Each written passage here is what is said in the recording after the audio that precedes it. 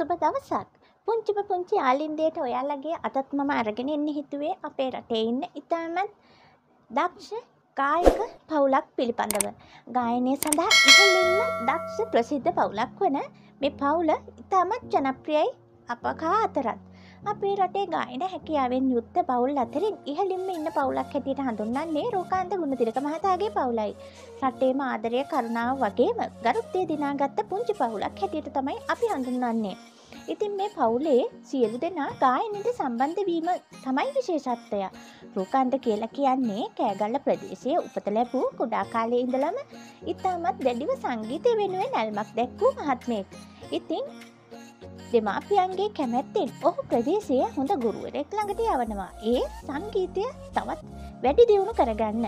ඔහු පාසල් ගියේ මහනුවර ශන්තාන්තෝනි මහාවිද්‍යාලයට එදස් නමසය අසු පහ වසරේදී ඔහු ගීතයක් ලියනවා බම්බර පහස කියලා ඒ ගීතය අදටත් කාතරත් ඉතාමත් ජනප්‍රියයි.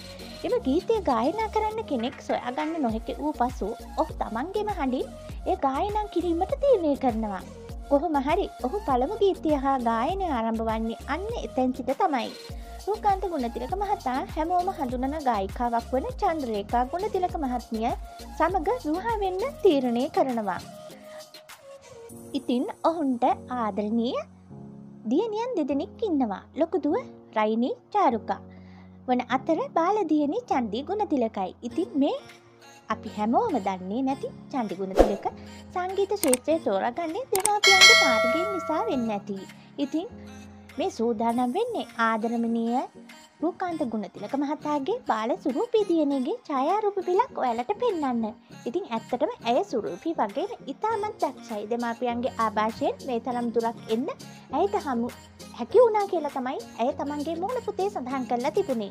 කෙසේ වෙතත් මේ පවුල තව තවත් ඉදිරියට අපේ රටේ ජනප්‍රිම ජනප්‍රිය පවුලක් වෙන්න කියලා ප්‍රාර්ථනා කරමින් අදට මම ඔයාලගේ පුංචිම පුංචි ආලින්දෙන් ගිහින් එන්න. ඒනම් ඔයාල හැමෝම අමතක් කරන්න එපා වීඩිය එක හොඳන පහලින් කමෙට් කරන්න තව කෙනෙකුට බලන්න ශා කරන්න. එහනම් ඔයාලගේ පුංචි ආලින්දියට නැවතත් වීඩියකින් හමුවන තුරු මම ඔබෙන් සමුගන්න සුබදවසක්!